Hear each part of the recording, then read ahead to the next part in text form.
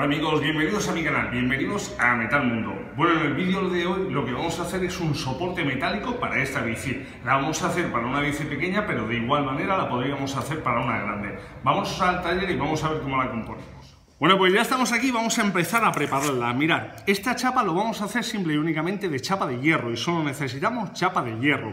Ahora vamos a necesitar algún tornillo porque la vamos a anclar al suelo, pero durante el vídeo lo vamos viendo. Esto es chapa de hierro, en concreto chapa de capada, pero bueno, chapa de hierro de 2 milímetros de espesor. En concreto esta de larga tiene 30 centímetros, si tuviera un poquito más incluso mejor, pero como la banda de chapa o el retal o el trozo de chapa que yo tengo es de 30 centímetros, eh, vamos a adaptarlo a 30, solo la voy a cortar de larga.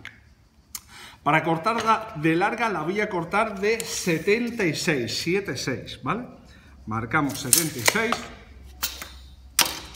cogemos la escuadra y marcamos el trozo que vamos a cortar. Lo voy a cortar con la amoladora. Nos ponemos, como siempre, la protección.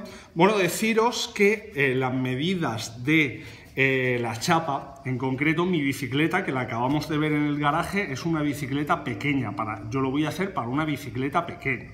Tenemos bicicletas pequeñas, medianas, grandes, en todas las medidas es algo relativo, es más bien cómo vamos a hacer el trabajo. Las medidas ya la vais a ir viendo vosotros o adaptándola a vuestra bicicleta. Vamos a coger,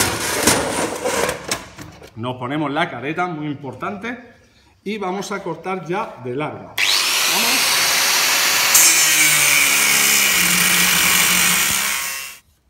Y esto ya lo tenemos. Bueno, mirad, hemos cortado dos chapas como esta. Aquí vamos a apoyar la rueda delantera, luego en unos ejes que ahora vamos a ver. Y aquí aproximadamente iría la rueda trasera. Y aquí vamos a hacer unos motivos, que ahora lo vamos a ver, para poder, eh, va a ir anclada al suelo, como hemos comentado, y para poder echarle una cadena o ponerle un candado para que no nos puedan eh, quitar la bici, aparte de que se quede ya guardada en ese sitio. Ahora lo que vamos a hacer, una vez tenemos ya marcado este dibujo, vamos a cortarlo de nuevo con la amoladora. Nos ponemos los guantes y vamos cortando. Venga, vamos a cortar el dibujo.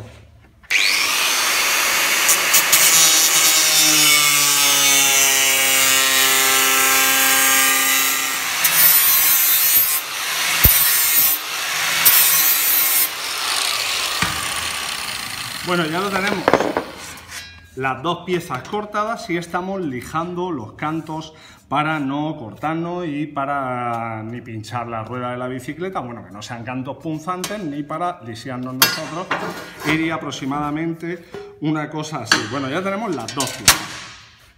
Ahora lo que vamos a hacer, vamos a coger, yo tengo estos dos sacabocados que ya los vimos en vídeos anteriores y si no conoces su sistema, pues le echas un vistazo a los vídeos anteriores que seguro que os van a gustar la forma de trabajar y bueno, ahora lo vamos a ver en el vídeo. Entonces, cogemos, vamos a hacer, aquí vamos a poner, hacemos una recta, no en el eje, un poco desplazado, y aquí hacemos otra recta.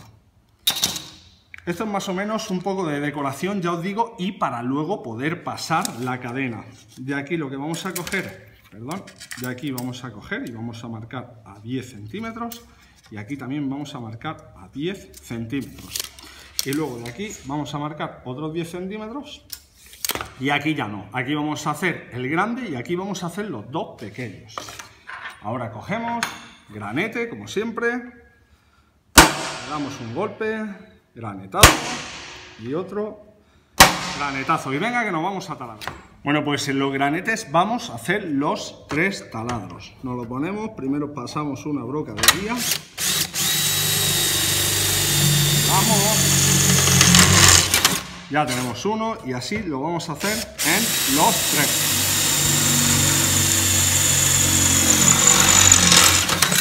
Vamos pasando la broca de guía y el último que nos queda así en las dos piezas, en esta y en la otra.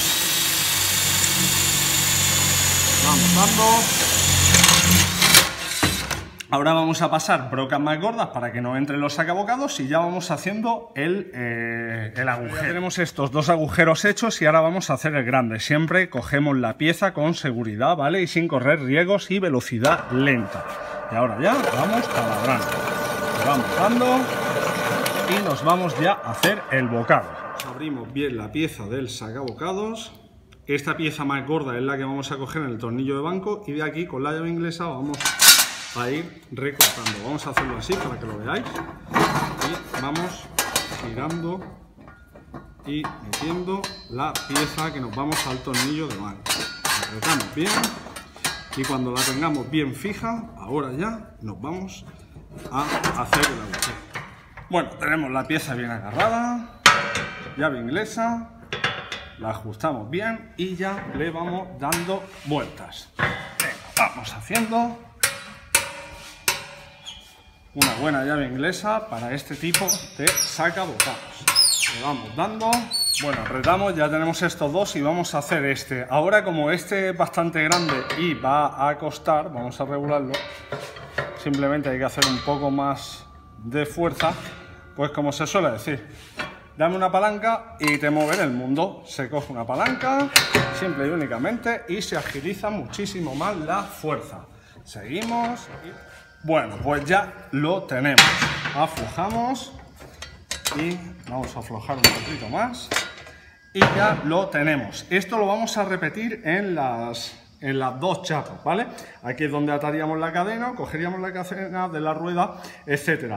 Eh, ahora vamos a coger las dos piezas y las vamos a unir por la parte de abajo eh, con dos chapas o dos pletinas que luego a su vez atornillaremos al suelo, al hormigón del garaje. Venga, vamos a seguir. Bueno, ahora terminamos de marcar los ejes. En esto no quiero hacer mucho hincapié en el tema de las medidas, porque bueno, aquí irá el eje de la rueda, la rueda pasará por aquí y aquí hacemos unos agujeros, pasamos unos tornillos y será donde descanse la rueda. Entonces, bueno, según el diámetro de la rueda, así lo haremos. Bueno, ponemos guantes y a taladrar. Venga, vamos a hacer los agujeros. Primer agujero,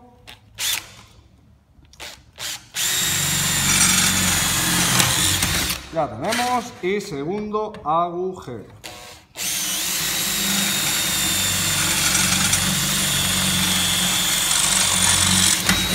Bueno, y ahora ya una vez lo tenemos, lo que cogemos es la otra pieza para que nos salga perfecto y no hay mejor manera que calcarlo y de esta manera seguro que nos sale genial y centrado. Vamos a repetir los agujeros y vamos a empezar con el tema de las pletinas del suelo. Bueno, finalmente hemos pasado una broca de 8 y medio para ahora pasarle los tornillos pasantes de 8 de métrica 8, perdón, y ahora ya con el avellanador vamos a ir quitando la rebaba para no cortarnos y que se quede en perfecto estado. Tenemos una, la otra, vamos quitándole las rebabas.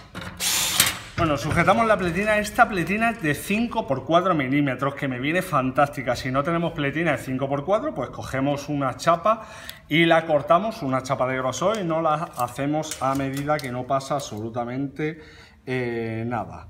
Marcamos 10 y vamos a cortar tres pletinas de 10 centímetros. Venga, vamos. Nos ponemos protecciones y a cortar cogemos un tubo de 12 milímetros de, diámetro, ¿vale? Tubo de 12 y vamos a cortar de 5,4 centímetros. Vamos a cortar, a ver, ponemos ahí bien, 5,4. Vamos a cortar dos piezas, que esto es lo que nos va a hacer de tope, ¿vale? Ahora cuando veamos las chapas para el tornillo pasante. Y cortamos, venga, seguimos.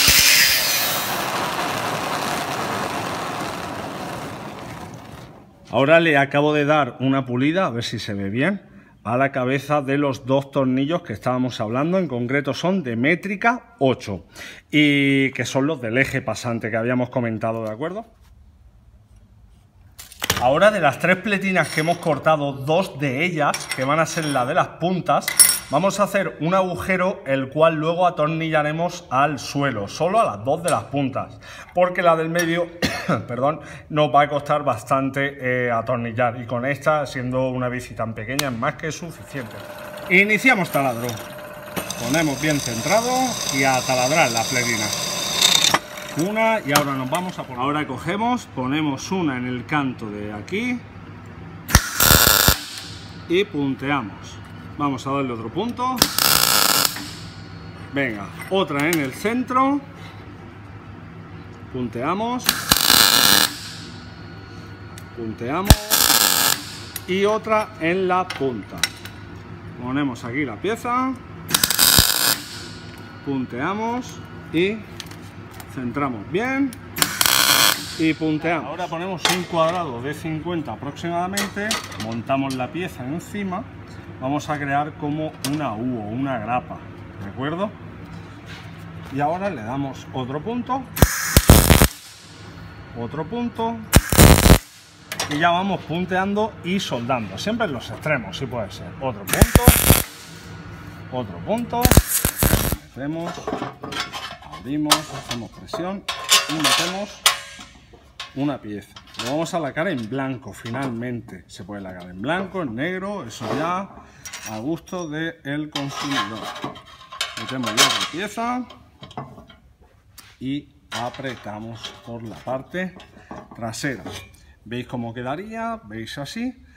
Y ahora una vez lo tenemos cogido, a ver si se ve bien en plano, una vez lo tenemos cogido ya vamos a soldarlo, vamos a reforzar todo para que no se nos vicie la chafa, eh, la chapa, perdón, y quitamos ya las piezas de acero inoxidable, los tornillos y los herrajes de acero inoxidable y nos vamos a lacarla, ¿correcto? O a pintarla. Venga, vamos a ello.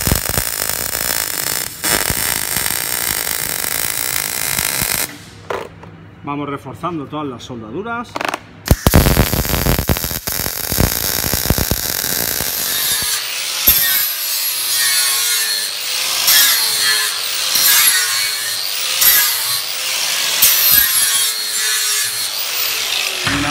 lo tenemos todo soldado, eh, el repasar una soldadura no significa quitar la soldadura, ya lo dice la palabra, es repasarla. Es decir, siempre tenemos que dejar una pequeña capa o puntear por dentro, si nos entra bien la pistola, eso como veamos. Bueno, aquí antes de eh, limpiar y ya pintar, vamos a ver que todo eh, quede en perfectas condiciones. Y esto para genial. Catáis ya un poco la idea de lo que es la pieza. Venga, ahora sí, vamos a limpiarla y a pintarla, que esto está quedando fantástico. Dando bien con cualquier desengrasante para que no quede suciedad ni restos a la hora de pintar, que vamos a darle ya. Hacemos bastante hincapié en la limpieza, que se quede bien limpio, que es yo creo que la esencia de la pintura o, en mayor medida eh, algo muy importante, ¿vale? A la hora de pintar. Damos bien el extractor de humus en esta posición, a ver, aquí arriba, perfecto. Y le vamos dando, vamos a pintar. Le vamos dando, que coja color,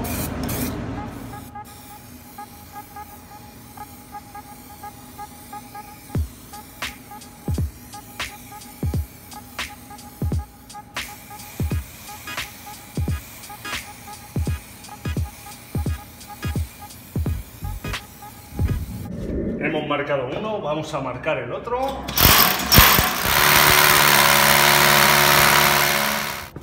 Metemos el taco y ahora lo apretamos y metemos el taco aquí y ya vamos a poner la pieza. Y finalmente vamos a meter el otro de la punta. Pues vamos a ver, la centramos, metemos y apoyamos.